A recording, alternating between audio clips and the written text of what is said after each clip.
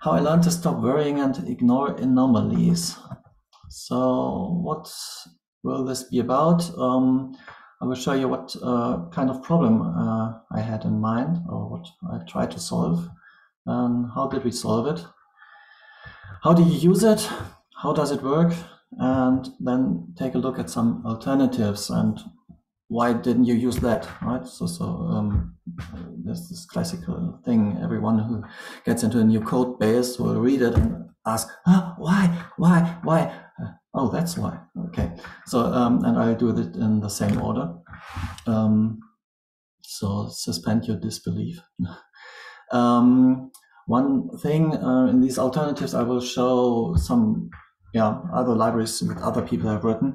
Um, I, I do not mean to deprecate those in any way. Um, it's um, uh, everyone has his own use cases, and um, I think um, that these are all valid alternatives um, for other people in other situations. Um, and uh, so please uh, don't uh, take this as use this, don't use that.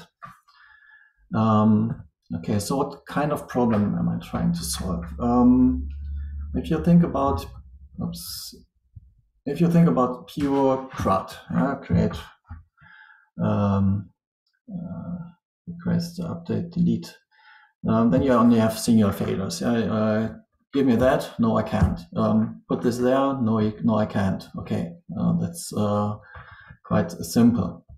Real services use um, connected data, there are multiple possible failures. We have uh, now in the uh, age of microservices, we have other microservices that we call, we have databases, we have streams, we have all kinds of things that can happen. Um, so um, there are many, many um, sources of failure. Um, as one example, when you when you have graph data, so edges and nodes, and now you want to add an edge then you must check is there the starting node is there? Uh, the ending node is it there?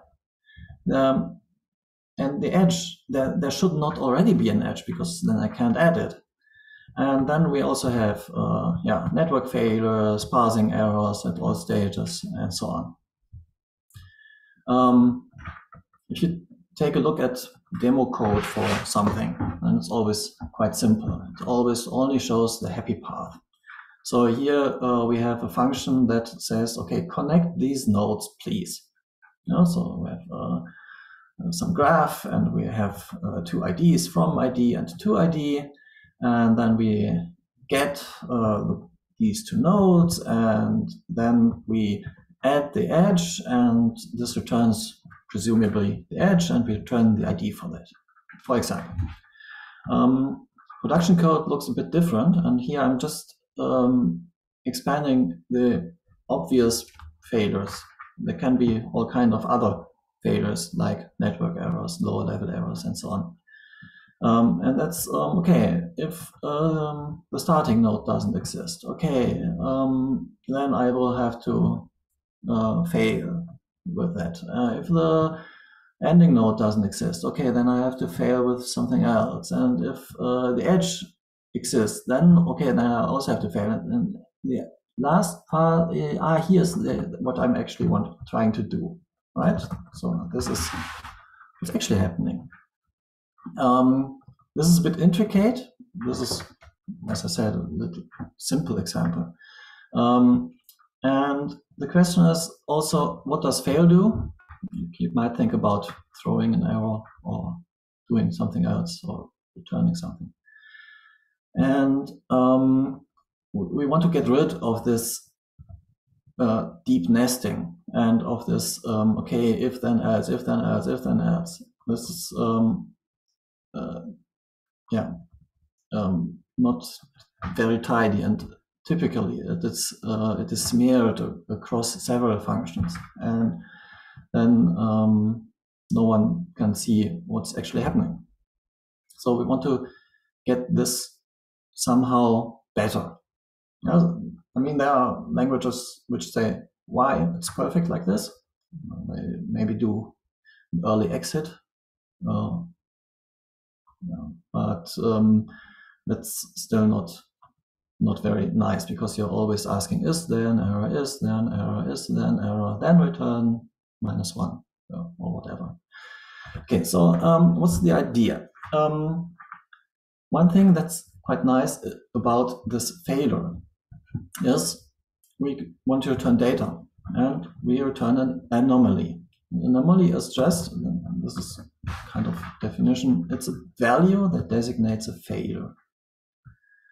And um, as an example, um, there's Cognitect Anomalies, which is a library that consists only of a spec and documentation. Nothing else. There's no code. And it defines a format that might look something like this. Um, you have um, a category, and um, these categories are a closed set, actually, or yeah, uh, predefined. Yeah, so you can say, okay, here's an anomaly. This is forbidden. What you're trying to do, and you can also give a message, which is also a predefined thing. Okay, you shall not pass. And but you can also give all kinds of other keys uh, which uh, contain additional information. And the nice thing about this is it's just data. It's not um, an object of some special class. It's not, yeah, it's, it's not, not an exception. It, it, it's not something else. It's, it's, just data. We can do whatever we want to do with data. Uh, we can easily identify it. It's, it's a map that has a category. Um, and we can transmit it through channels, um, Go channels. Uh, we can transmit it across threads. We can we can even serialize it and uh, um, return it over the network. We can um, give it as JSON to our front end. We can do all kinds of things with it. Um, this um, we we stumbled or we we found this uh, when we were using the Cognitect AWS um, library, which returns such anomalies, and um, these um, um, these categories are really designed with request response in mind. Yeah, so you, you get almost one to one mapping with HTTP status codes. So, so this is uh, for all three. Okay. Um, and um, so, um, of course, we designed our own. It's something that you might discuss. You might say, okay, it's not needed, but anyway, we did this. Um, and our format looks like this. Um, it's a vector of um, up to three elements. And the first one is just an indicator which says, okay, this is an anomaly. And this one is then some kind of anomaly. And we actually allow all keywords here. It's um, just something that describes the kind of anomaly. You know, something like uh, if, you, if, you, were building an, an, exception, you would probably put it into the name. Yeah, so this would be an, a forbidden exception. Um, and then um, we can have all kinds of additional data. Um, nice thing is it, it uncouples it from whatever Cognitect had in mind. And it gives us an excuse to be extensible from the beginning because we also want to adapt to Cognitect anomalies. We want to be extensible to that. Uh, and if we now have such anomalies, yeah, which fail just returns, um, then what do we do with those? And the idea is to make the possibility of anomalies as unobtrusive as possible. Yeah, so we don't want to have here, okay, if um, we, make a let from blah, blah, blah, if from is an anomaly, then do this, else. Yeah? So, so we want to make this unobtrusive. We want to let us we want to, to, to code the happy path. And the other things should uh, go into the background. And so um, we introduce conventions. One thing is functions can return anomalies. Yeah, probably with just nom fail. Um, and if um, functions can return anomalies, then but functions do not need care to for, for anomalies in their inputs. If you, if you have a function and you get some input, then you don't want to say, okay, is this maybe an anomaly? And, and first I have to check every all my inputs. Uh, no, that's not your responsibility. We have a, uh, a toolbox which makes the anomalies only bubble out, not in. Yeah, so and, and we have to make sure at the calling side uh, that this is uh, that this convention holds. And um, the first thing that um, comes to mind with this is nom. Nom is for for the case, okay, which just plainly does this convention. Yeah? I want to call a function and make sure that I'm not putting anomalies in. If there's an anomaly, I want to return that directly without calling the function. And to do that, I write, instead of this function call, I prepend this little funny nom. And this means roughly, okay, is the first argument an anomaly? Then it's this one. It's the second uh, anomaly, then return that. And if both are not, then call this function. And of course, a bit more uh, care has to be taken so that there's only once only uh, evaluation and we want to adapt to other anomalies and so on. Um, on the other hand, maybe I want to just check upon some values. Yeah, so I, I, want to know, okay, um, I want to make sure that um, my sofa is okay. And I want to make sure that my cellar contains drinks, And then I can make an evening with my sofa and my cellar, however that looks. Um, if the sofa is an anomaly, then this returns this anomaly. If checked rings is an anomaly, then this returns the anomaly. Else it returns the evening.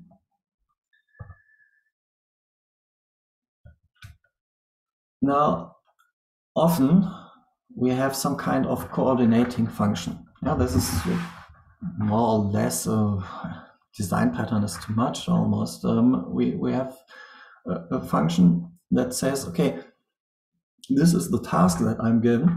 And to do that, I have several steps which I have to take. And to do this, um, what I typically do is have some let form, which fetches one thing, fetches the next, fetches the next, checks something, and then um, returns something. And uh, nom, let nom, simple let nom, um, does propagation. So it uh, runs this code as if it was written with nom. So if node graph of from ID is a uh, an, an, an, anomaly, um, from will be bound to that anomaly instead of calling node. Same with to. The same here. Now if from or to returns an anomaly, then this here or this will be an anomaly. And so if that's the case, then edge will be that anomaly. And so here we now only check edge. And if there's an edge, then we say, oh, something uh, bad happened and we call fail with this category and uh, some additional data.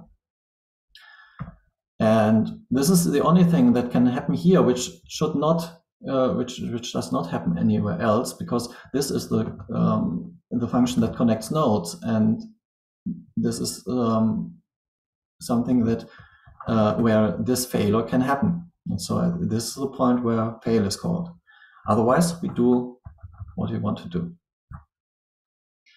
Um, so this this construct works with propagation. Yeah, so in any case, the body is also called, even if anything here is an anomaly. Often enough, I want to short, short circuit. Yeah, so it's like I um, um, if, if anything of this of, of these uh, is is an anomaly, I want to return that. I don't want to check it uh, afterwards. I just want to if, if from is an anomaly. I don't have to check anything here. I can just return. Um, and um, so this thing with the funny little angle here, with the, which makes it look a bit like an arrow, um, is short circuiting. Um, and so we can skip checking for an anomaly and we can just have this logic which says if there's already an edge, then I cannot connect these.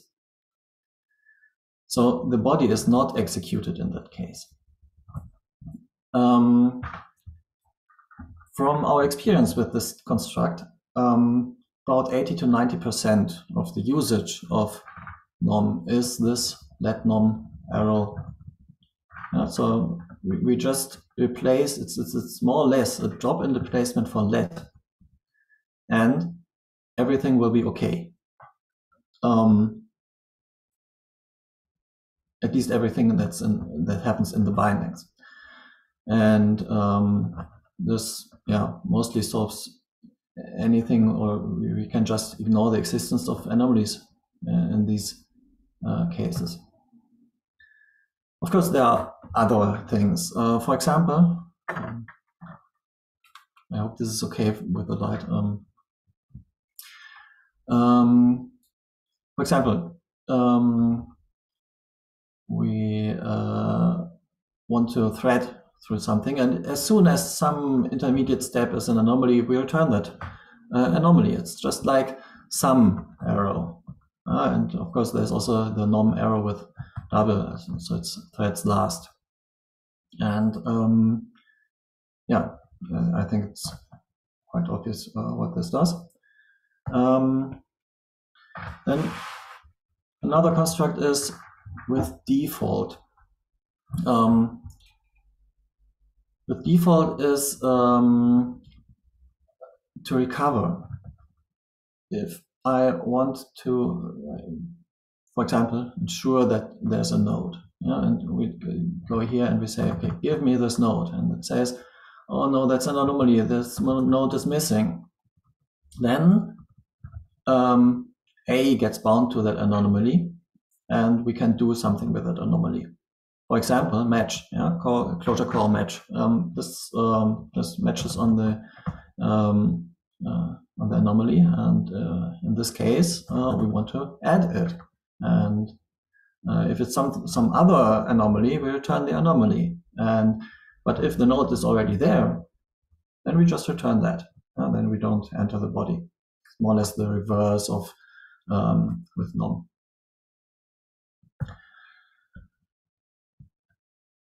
Now I said that um, we can extend this to other anomalies.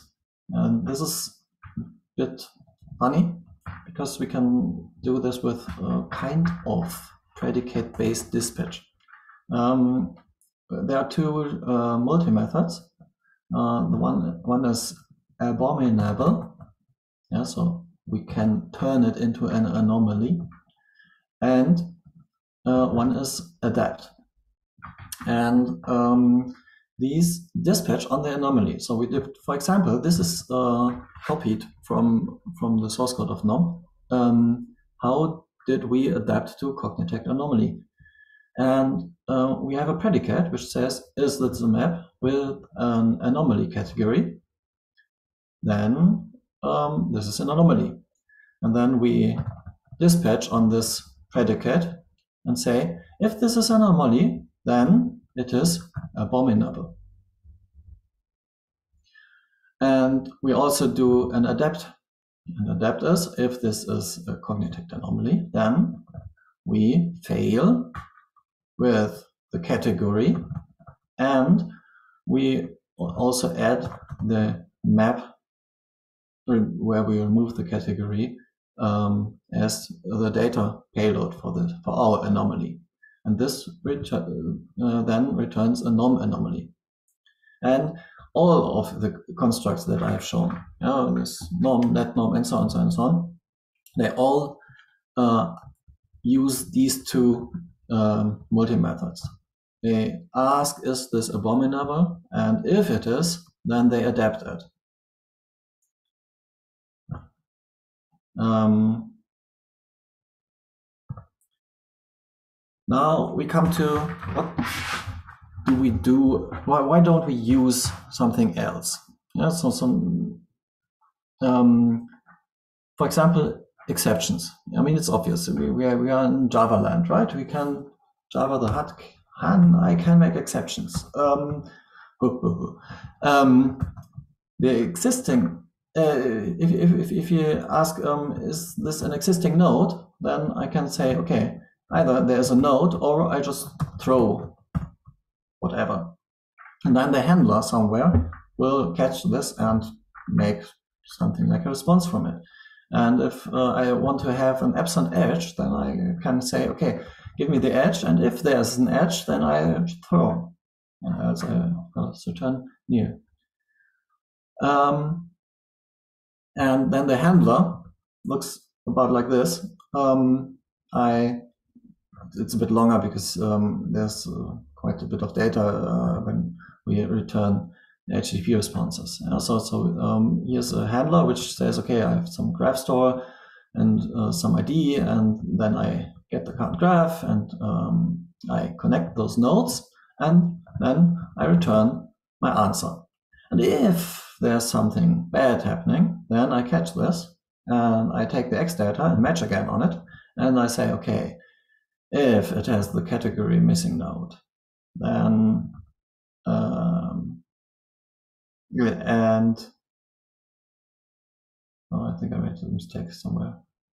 But uh, anyway, uh, and it has a node ID ID. Um, then I will return this as an HTTP response. And if it's a different um, uh, category and some other data, then I return this response, and so on and so on. And so it means I can just um, um, do this with exceptions. So why didn't we use that?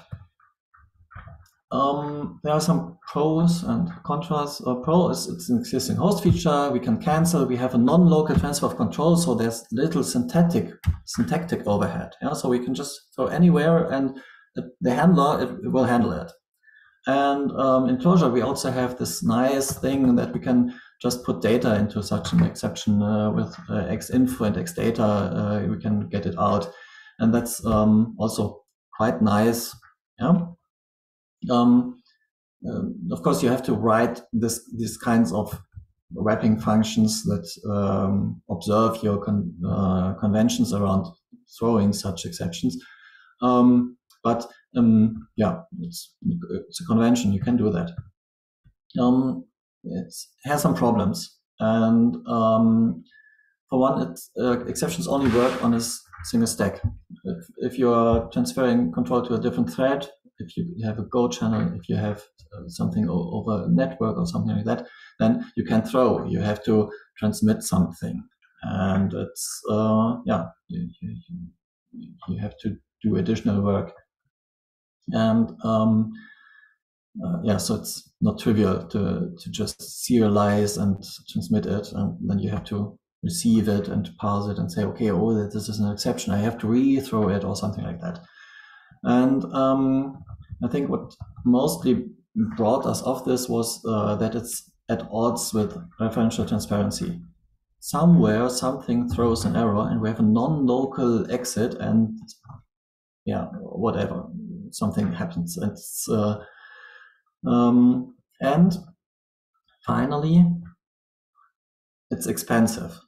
Um, oh, I, I, I missed some one one reference. Um, um, the, the, there's a guy who, who took a look uh, at, at, the performance of this, and uh, making a throwable on the JVM is expensive. And measured it and he said, uh, okay, it's about 100 function calls. Why? Because every throwable, and that's baked into the JVM, and, and we cannot change it because it's already in throwable itself, um, collects the entire stack info to throw it with um, with the exception. And so this is an expensive operation to make this non-local um, exit um, transfer of control. Um, of course, there are also ways around that because I think uh, okay, I can could imagine that you just uh, make an, a throwable pool uh, where you do not construct extra throwables, but you already have pre-constructed ones. But anyway, um, another option would be a protocol. There are quite a few libraries already that do um, uh, something like NOM, uh, but on the basis of a protocol. And a protocol is, yeah, almost a classic way to make things extensible in Clojure. Uh, for example, Failjure, which I think um, has some popularity, um, has this kind of protocol, which is um, has failed, and it can extend um, this protocol to nil and object, and say, okay, um, this is not failed because it's something else, and it can extend to exception and say, okay, an exception, yeah, okay, that's a fail. Uh, that's, that has failed. And of course, uh, to their own construct, which is a failure, which implements this um, uh, protocol, and um, which is also um, has failed. And while this is um, nice, yeah, it's uh, very nice. You can already see, okay, nil and object. Okay, but what about other primitive types? int or boolean. Um, not sure. Um, and you cannot extend this to combinatorial anomalies because those are just maps. You would have to say, okay, wait, um, okay, you can extend it to combinatorial anomalies actually. You can say, oh, is this a map? Then I have to check if it has a category but that's it. You cannot say there's another map format that I also recognize. It's uh, because you would have to put it here or you would overwrite this uh, extend protocol. And um, I think uh, it, it, doesn't feel right, right? Um, to, to have something that you can extend only to one thing, but then it blocks any similar extension. Um, And final, finally, there are pipelines, also known as um, railway-oriented programming. Uh, there are a few examples for that. Um, I, will just show two of them. Um, for example, in Rob Closure, um, you can use this funny little thing, um, um, which yeah, is more or less what our nom arrow does. Yeah? So, so uh, it takes some something in and it threads it through all these things and wraps and unwraps um, some kind of um, yeah, also. Um, and um, this is great for things that are linear. Yeah? So you put something in on top and it goes through all the steps. If something goes wrong, okay, I know this is uh, a failure and so on. Um, uh, similarly, in uh, Promenade, um, we have some error handling also. Yeah? So, so you can imagine these are two rails which where uh, the train can go from one to the other. And always when you uh, have this um, um, vector in this pipeline, then you are um, handling um, the failure uh, part and in the other cases, you're handling the success part. Um, but um, the problem with this is it only works linearly. I couldn't write our graph example from the beginning in this style because um, I may show you like this um, because this is the same function and um, it returns something and it, we need another thing. And then we need to take these two things which are fetched with the same function and put them together. So then we have a problem because if if we add some kind of context which we put in at first and then each function just puts something at this um, context then this function will have both the same key so they would override each other so we would have to have separate functions which, which actually do the same but with a different key um, and um, so, so it's not easy to write this. We actually temporarily had such a construct which allowed that.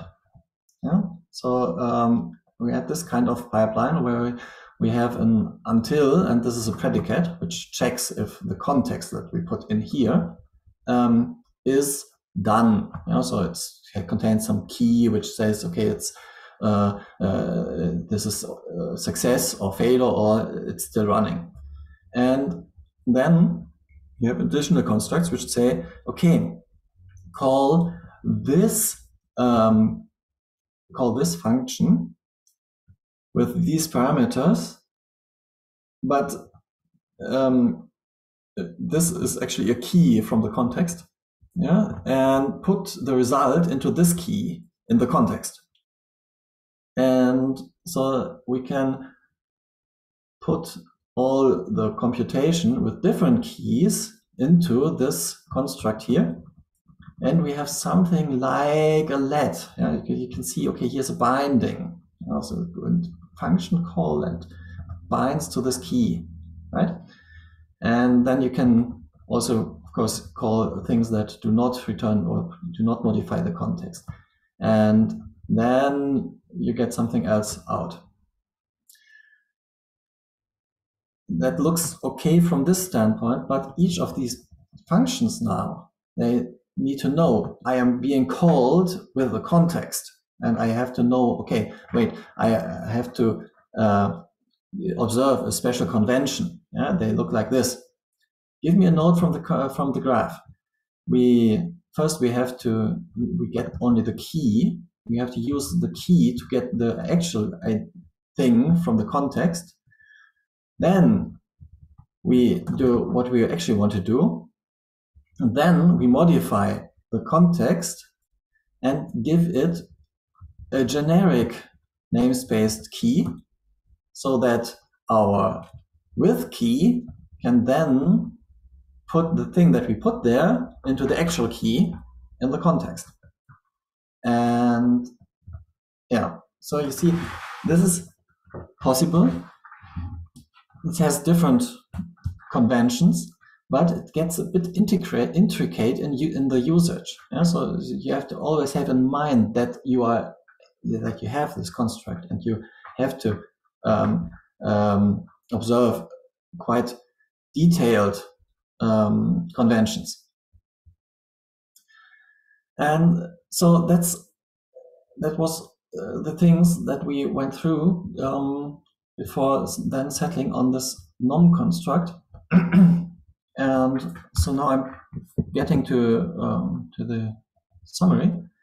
Um, point one is anomalies are data with all the niceties that we have there. Um, programming is not linear, yeah, so that's the thing with pipelines. Pipelines are linear, and programming is not linear. We take things from different parts and combine them. Um, we want to show the happy path.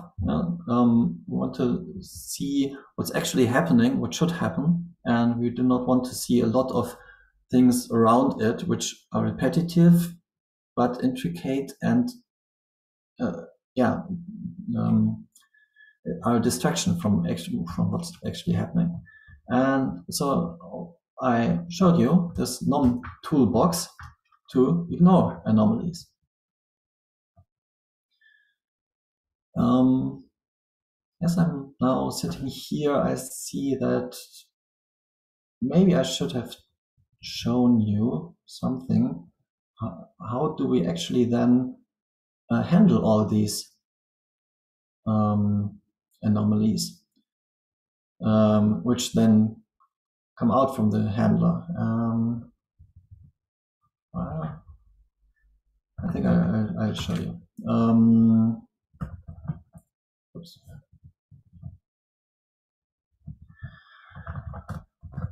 Uh, we have some handler and uh, graph store uh, from ID to ID.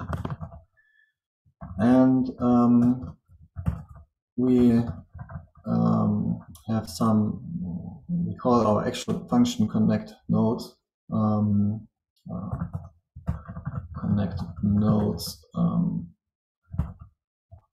uh, current graph from the graph store um, and sorry I do not have even have pilot activated right now. It's, it's, it's okay. And um, then we can do it quite primitively because we can just uh, ask uh, if not uh, um, we do our status 200 and I don't know uh, body JSON right DOD no. and else we do uh, match uh, ID which is an anomaly actually then and we have all these funny little cases like um, uh, node missing um, and then we return different status 400 body whatever right? And uh, we can have uh, other things like uh, edge exists and something else.